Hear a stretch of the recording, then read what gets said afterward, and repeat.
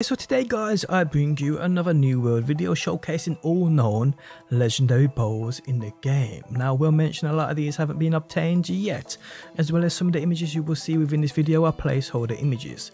But in terms of the weapons, stats and what they offer it's all here so let's go. How's it going guys my name's DPJ and if you enjoyed the video leaving a like really helps out and if you like what you see and want to see more be sure to subscribe. Okay so within this video I'll showcase to you all known legendary bows in the game and how they are obtained. Now like I said some of the images are placeholders and also some of these weapons haven't been found yet those weapons I'm hoping you can help me out with. So let's go. First up we have the Lazarus Bow. So this legendary is exclusive to the Lazarus Instrumentality Expedition boss known as Scylla. So if you want to go farm this bow, this is the boss you need to go and hunt. Next up guys we have the Inherent Truth. So this legendary is exclusive to the Lazarus Instrumentality boss, uh, Chardis. So yes you want this bow, Chardis is the dude you have to hunt. Next up guys we have the Creeping Recurve. So this legendary is an exclusive weapon to the three Garden of Genesis named enemies uh, are Farkas, Volgda and Taxidius. So you want a chance of getting this, go farm the Garden of Genesis and there's a good chance you may get it. Next up guys we have the Lone Tracker's Bow. So this legendary is Outpost Rush tier 5 uh, cash chest reward.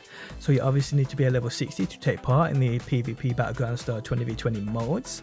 Once you do and you complete it, the chances may drop from the tier 5 chest.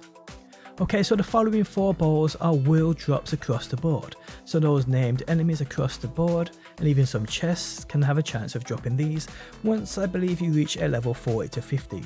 So we have the Swift Approach. We have the Slayer's Crossbow. We have the Herald Signal Fire. And we have the Warp Wood. Okay, so the last two balls we have here are unknown drops, meaning we don't know how these are obtained in the game as of right now. So if you have any clue, let me know and I'll edit the video description. First up, we have the Warforged Compact Battlebow, and then we have the True Strike.